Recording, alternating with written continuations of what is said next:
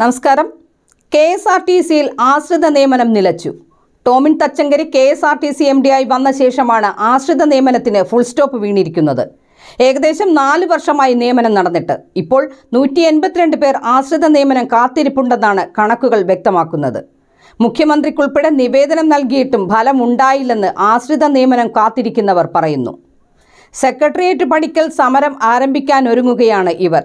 രണ്ടായിരത്തി പതിനേഴിന് ശേഷമാണ് കെ എസ് ആർ ടി സിയിൽ ആശ്രിത നിയമനം നിലച്ചത്. കോർപ്പറേഷന്റെ പുനരുദ്ധാരണം സംബന്ധിച്ചുള്ള സുശീൽ ഖന്ന റിപ്പോർട്ടിന്റെ ചുവട് പിടിച്ചാണ് നിയമനം നിർത്തിയതെന്നാണ് ആക്ഷേപം. കെ എസ് ആർ ടി സിയിൽ നിയമിക്കുന്നില്ലെങ്കിൽ സ്പെഷ്യൽ റൂൾ പ്രകാരം മറ്റ് കോർപ്പറേഷനിലോ സർക്കാർ നിയന്ത്രിത സ്ഥാപനങ്ങളിലോ ജോലി നൽകണമെന്നാണ് ഇവർ ഉയർത്തുന്ന ആവശ്യം. അതേസമയം സാമ്പത്തിക നഷ്ടം നേരിടുന്ന കെ എസ് ആർ ടി സിയിൽ കുറച്ചു നാളായി പി എസ് സി വഴിയുള്ള നിയമനം പോലും നടന്നിട്ടില്ല. K S R T C തന്നെ ശമ്പളവും പെൻഷനും നൽകാൻ സർക്കാരിനെയും കൺസോർഷ്യങ്ങളെയും ആശ്രയിച്ച് ജീവിക്കുമ്പോൾ എങ്ങനെയാണ് ആശ്രിത നിയമനം നൽകാനാകുമെന്ന ചോദ്യമാണ് ഉയരുന്നത്.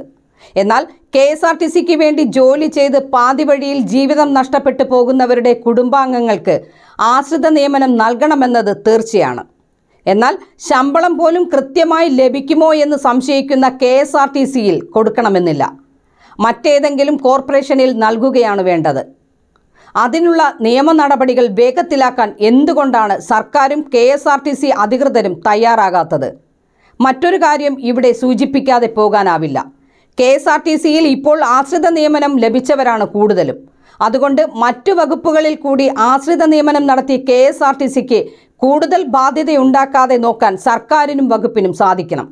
ഇത് ആശ്രിത നിയമനക്കാരെ കൊച്ചാക്കി കാണുന്നതല്ല. കെ എസ് ആർ ടി സിയുടെ നിലവിലുള്ള അവസ്ഥ മനസ്സിലാക്കി പ്രവർത്തിക്കാൻ വേണ്ടിയാണ്. സ്പെഷ്യൽ റൂൾ പ്രകാരം തസ്തികകൾ സൃഷ്ടിച്ച് മറ്റു വകുപ്പുകളിലേക്ക് ആശ്രിത നിയമനം നടത്തിയാൽ അത് അവർക്കും കുടുംബത്തിനും കെ എസ് ആർ ടി സിക്കും ഗുണമുണ്ടാകും. News desk right news.